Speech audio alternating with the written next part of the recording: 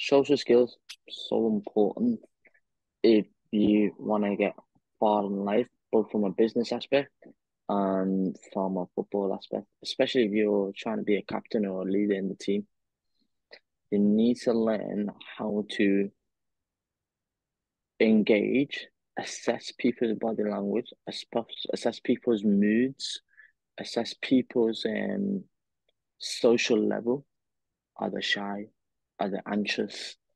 Are they um, defensive? Are they closed minded?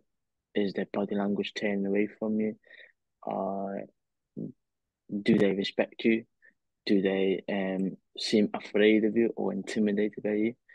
Ability to kind of pick up all these social cues is so important in terms of dealing with different type of managers, different type of um, colleagues, teammates, and stuff like that. Then you can gauge and understand how you can communicate well with them, if that makes sense, and how you can um like adjust accordingly uh, from person to person. What do you think? Mm, 100% agree. So uh, a few years ago, I read a book called Mamba Mentality mm. by Kobe Bryant, and uh, what was interesting in this book, he was uh, uh, he was talking about how he is communicating with the teammates, and he takes ownership of their bad decisions. So that's crazy. So he he said that if a teammate make makes mistake, it's because he hasn't communicated to him what to do. Mm. And I think if you take this extreme ownership over the actions of your teammates, then uh, mm. This is where the communication uh, can take a next level. So, mm. like, you need to be able to explain to your teammates what they are doing wrong to not repeat the same mistakes, and that's that's just to just to benefit the benefit the team. But I would say to that as well is recognizing based on players or people's strengths and weaknesses and how you can communicate that to them. So if you understand that, like like last week we were speaking to um Izzy, he was saying like some players are like their game IQ is so dead. But if you tell them or simplify the game, do that. Do that. I promise you, just do that. And the next minute the guy is scoring. Do you know what I mean? Sometimes you have to like dumb it or get into their level for them to understand. And that's your ability to kind of assess people's weaknesses and strengths and how to kind of be like, okay, how can I get the most out of them? How can I get the best out of them? And the best within, and how can I integrate my strength and link it with their strength perfectly? How can I, um, so we can get closer to the end goal type of thing.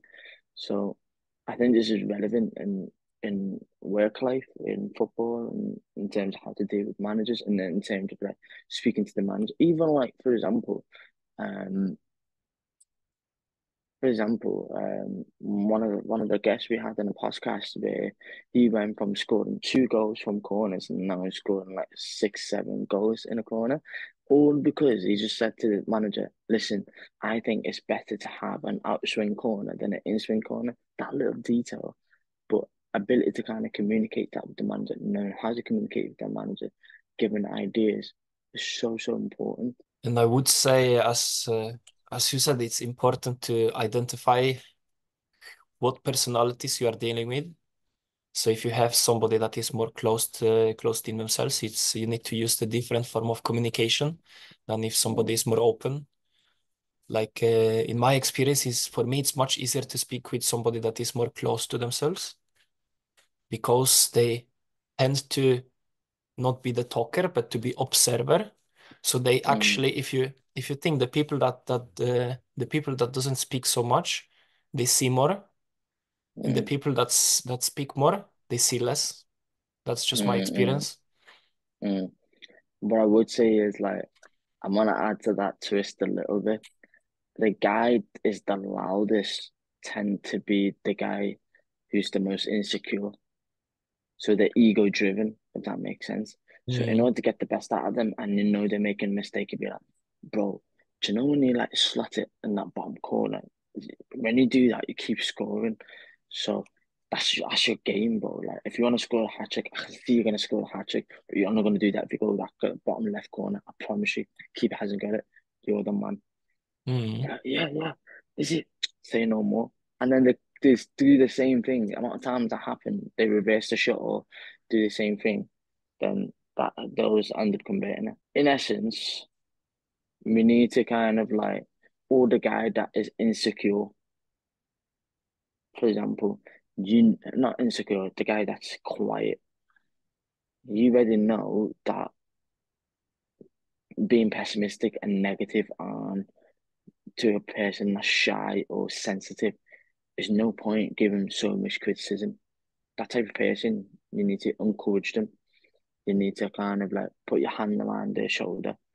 Like the player that plays the best with confidence, like the confidence player. Um, they tend to be the one that are that sensitive to um mistakes or that sensitive to um criticism. Those are the ones that you put you need to put your hand around them and be like, do you know what? Carry on. It's gonna come. Don't worry, it's gonna come. Keep trying, keep going. You need to give them encouragement.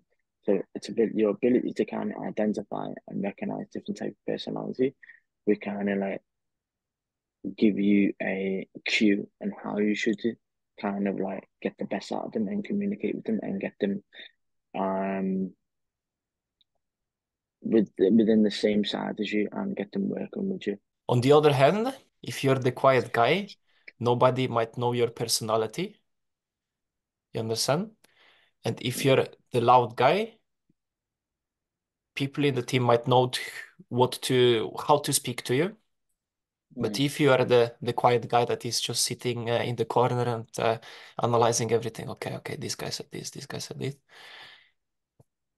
Even though you know others' personalities, the others doesn't know you. hundred percent.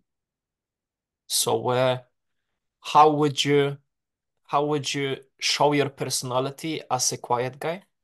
What would you do? Mm. For me, small talk. That's what I do. Small talk.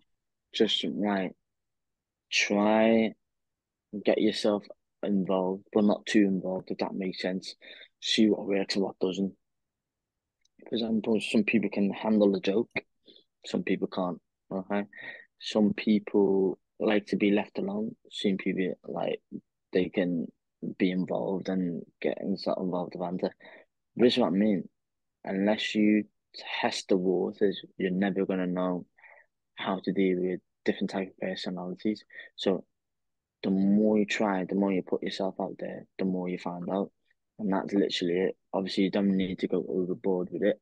For example, just keep every training session, keep planting seeds. And over time, that communication, that relationship, that friendship, that team will grow over time. So you just you're just putting like small dividends over time, and it'll pay off. That's that's a good tip, you know. And uh, I'm actually the guy that is not so loud in the dressing room. I'm more like a quiet guy, observing everyone that uh, their stories, and ju I'm just trying to absorb as much as possible. And uh, I have a tendency to be good in one to one, maybe two to one, three to one max talks. But when Mm. it's bigger group, I I suddenly lose the social aspects and I just uh, keep quiet. I spoke to to the mental coach that I had, that was uh, English national team mental coach, Mm. and uh, he gave me advice about that. He said that you need to put on a social face. So like when you have your game face, you need to put on your social face. So Mm. You put on your social face when you enter the dressing room, and it can be anything like I will be talk active. I will be the friendly guy. I will be the guy with the most interesting stories. I will be the motivational guy. And to Mm. enter the dressing room with this uh, this social face Mm. and interact with others, others, it's Mhm. much easier to enter the room when you have the social face than when you just come as yourself. Because then you Mhm. need to work with your subconscious programs and uh, conscious efforts and things like that, and uh, worry about the ex and uh, get rid of the anxiety, worrying, and blah blah blah. But if you just put on a social face, five minutes you're out. You're out in the dressing room, and you can just just be the most talkative guy on the planet. Mm. what I would say is anxiety is due to inaction. That's what I found. Anxiety, all it is, is when you're living more in the reality of your imagination than the reality of of the actual reality of the world. But your your brain kind of differentiate what's what's an imagination, what's reality. So mm. the more you transition from yourself from imagination to the real world, the more you transition yourself out of anxiety. And that just comes through actions. I always say you have five seconds to make an action. As soon as you hit more than five seconds, your anxious thoughts come in. Same thing. It's the same thing in football. As soon as you lose the ball, do something about it. You've got five seconds to win the ball back, right? It's the same thing. As soon as you come in the changing room, yeah, and somebody like somebody like for example, as soon as you come in the changing room and you sit there and you wait and you wait, it's just an awkward silence. But if you as soon as you come in, you smile, good positive like language, you shake hands, you go, yeah, you okay, yeah, stuff like that. How you? How's your weekend been? Then it'll start rolling. But if you're just like, and you sit down, bro, it's awkward. So you've got to take action from the first get go.